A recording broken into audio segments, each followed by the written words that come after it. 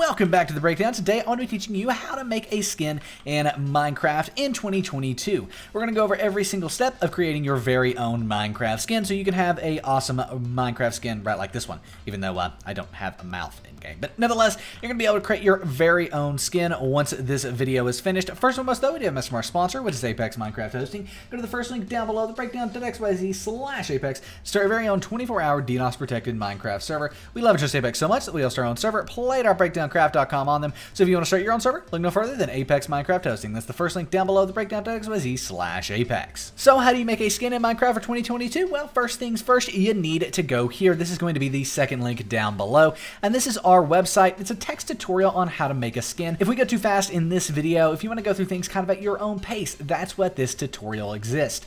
Additionally, the video up here at the top goes a bit more in depth than we're going to in this video because I wanted to make something that was quick and a bit more digestible than previous tutorials. Nevertheless, once we're here, we're going to go ahead and click on this Minecraft skin editor to go to Skindex. This is the Skindex skin creator, basically, and as you can see, uh, I have been playing around with this in the past, and it just kind of saved it. I'm going to go through all of these tools here, but again, link in the description down below takes you to our website where you want to click on this yellow skin editor button. Once you're here though, you can see all the tools on the left hand side as well as a color wheel selector on the right hand side and basically a selector that allows you to kind of hide different uh, options as well as whether or not you want to select the body, outer layer, or inner layer, right? So the outer layer is what is going to show up kind of on the outside of the character. The inner layer is if you have like, for example, like random black edges and things like that, that's what the inner layer can do. You can also click up here and move around to like work on the side of the skin, all of that stuff.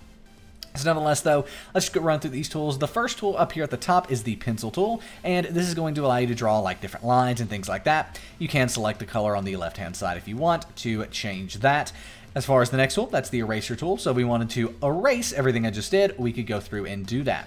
On the right hand side, we have the auto tone, and this is actually one of my favorite tools, and basically it's going to kind of create colors similar to the, you know, tone that you're using and kind of create some depth as you can see, right? It's kind of creating something that's a little more depth than what we had by default. We then have the color picker, and what this is going to allow you to do is, let's say we want this color right here back, we can click on it and get that color back, and then we can go back to another tool and start coloring with that color, as you can see. So there's that. Next up, we have the bucket fill tool. This is what's going to be a very quickly way to fill specific areas. For example, if we wanted jeans, we could kind of start off with that, and then say, you know, okay, let's go in here a little bit now and uh, add in some different texture and things like that using the uh, the, the texture tool. And boom, now this character has jeans. That's simple. From there, we can also have the undo and redo. For example, if we want to undo some things, we can do that. Let's say we were to come down through here and put like a white line all the way down. We don't like that. We can undo it right like so, or we can redo it, right? If we want to redo it, you can do either one using that tool. Then we also do have the ability to make the basically colors different, right? You can subtly change them or very aggressively change them, lighter and darker as you can see all the way to white, all the way to a bit darker. All of that can be uh, can be done using that tool there. So it's going to darken and lighten your colors. Honestly, I would recommend just using the color wheel at the top to do that and like drag it around, but it's kind of up to you. You can zoom in using the zoom and zoom out tools. And then down here at the bottom, we do have the mirror tool, which is very helpful. Let's say we wanted the arms to both be the same color right like so. Let's say we wanted them to both be that color. We could come in here and mirror that on both arms, right like so, right?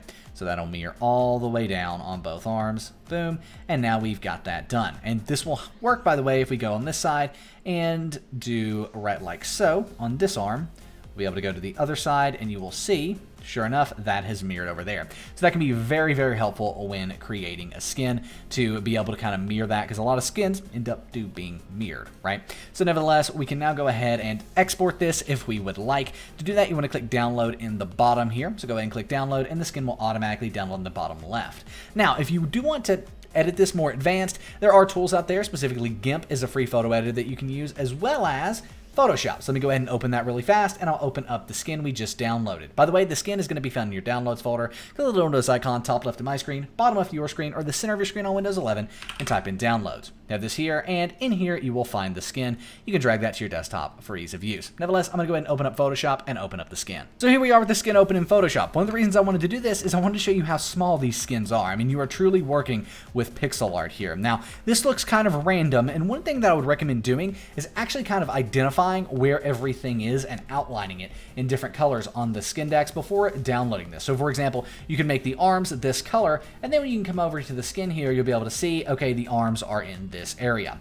There's also a basically outline that you can download that will have all of these and have all these identified, and you can find that on Google as well. But nevertheless, once you've got your skin downloaded, how do we go ahead and add that in game? Well, we want to go ahead and open up the Minecraft launcher, and then from the Minecraft launcher, we want to go ahead and select skins. It's that simple, right? Minecraft launcher is open here. Wait for a quick uh, loading. There we go, and we can click skins at the top. Then we want to go ahead and click plus new here, and then we can name this our make a skin skin.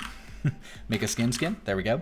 And you can select whether you want the slim or classic model. I'm going to go ahead and use the classic model. You can see what the slim looks like right there. Boom, there's the two. And then we go ahead and browse. This is going to be found on our desktop right like so, and there's the skin. And by the way, once you add it to Minecraft, it can be uh, removed. Now, as I said, all the black on this, right, this this black that's appeared, that's because there's nothing there. If you were to add in colors on that, it would make it so that there is stuff there. Pretty simple, right? Now let's just go ahead and click Save and Use in the bottom right, and the skin is going to activate. There it is. You can select other skins you've had in the past, right, like so. Very quick and easy. If it does give you an error or an error says unable to activate skin, I've actually uh, been able to, yeah, there you go. Spam it a little bit, and it will eventually work.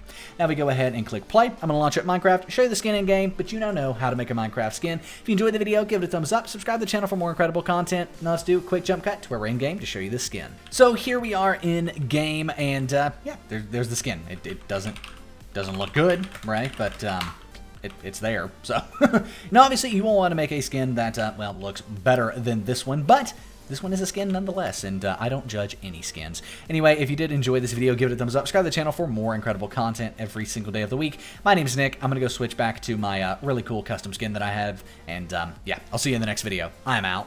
Peace.